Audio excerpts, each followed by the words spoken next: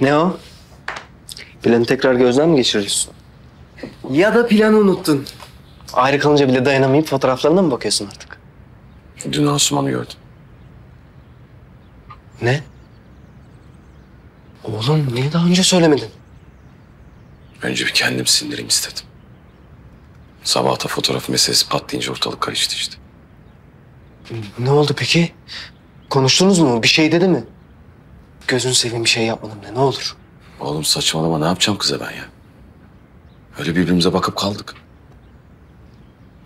Ee? Hepsi... İşte ben...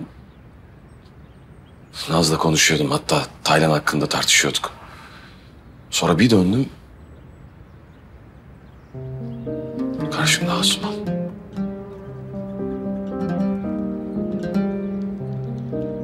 Nasıl hissettin peki? Ben de onu düşünüyorum işte. O an Naz'la kavga etmemin sebebi, Naz'ı tanımamın sebebi, yani bunların hepsinin sebebi Asuman. Ama karşımda sanki bir yabancı duruyor gibiydi. Kardeşim. Yani kalbin ne söyledi? Onu söyle sen bana. Onun bir şey söylediği yok. Ama büyük bir acı hissediyorum. Arada o kadar çok şey olmuş ki. Ben bu yola neden girdiğimi unutmuşum.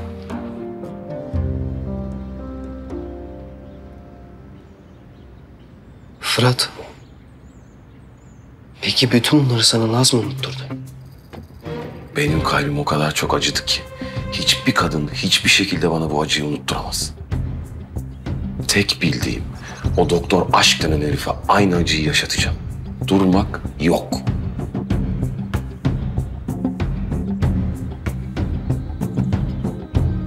Abi geliyorlar.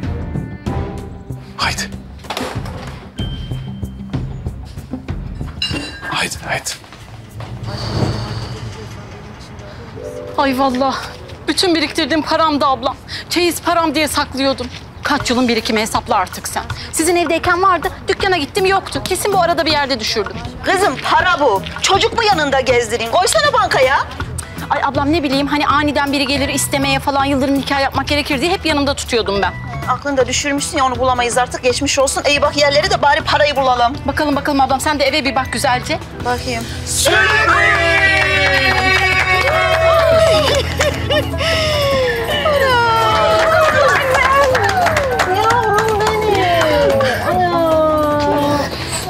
Teyzem, iyi ki doğdun. İyi ki varsın. Anam sağ ol yavrum. Ya ben unuttum siz unutmamışsınız ha. Ablam iyi ki doğdun canım ablam. Ay biz o yüzden bıraktık Salih Efendi'ye dükkanı. Ee, öyle oldu biraz. Yavrum benim. İyi ki doğdun abla. Anam benim. E bu yaşta kadının doğum günü mü olurmuş ya? Ay olmaz mı ablam? O da beni param kayboldu diye kandırıyor. Ay ablam benim o kadar param olsa kendimi kaybederim paramı kaybetmem yani. Hadi Sultan ablam üfle mumlarını. De hadi. Hadi, hadi, hadi. Anam, hangi ara hazırladınız bunca şeyi? Bir de mumlu mumlu. He. Ne olacaktı başka? Olsun, düşünmeniz yeter. Nereden aldın bunu? Kusura bakma teyzem. Bu sene adeti bozduk. Söz seneye telafi edeceğim, ben yapacağım yine. E, hadi Sultan Hanım üfle mumlar erecek. De hadi.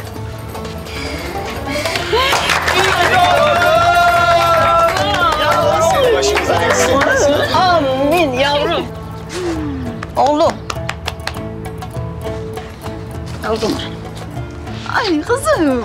Ay tam bir şükür moment. Hadi o zaman hazır mıyız?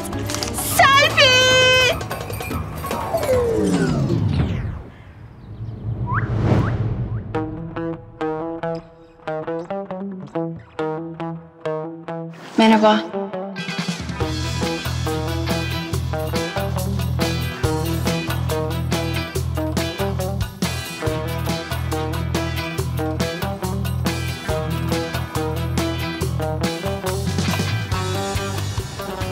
Geç kaldım sanmıştım ama neyse ki yememişsiniz. Ben size pasta yapmıştım da.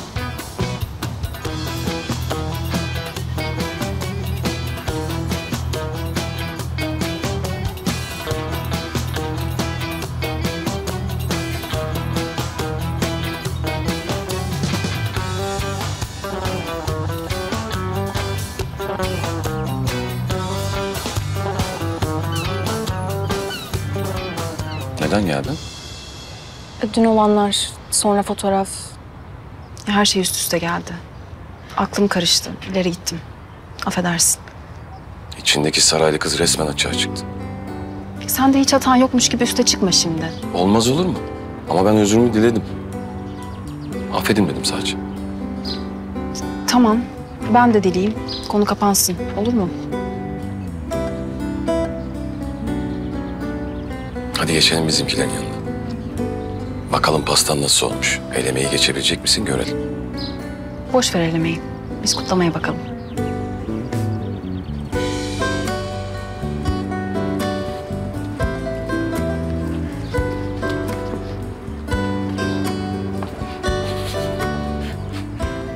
Eline sağlık. Vallahi Fırat'ınkinden daha güzel olmuş. Afiyet olsun.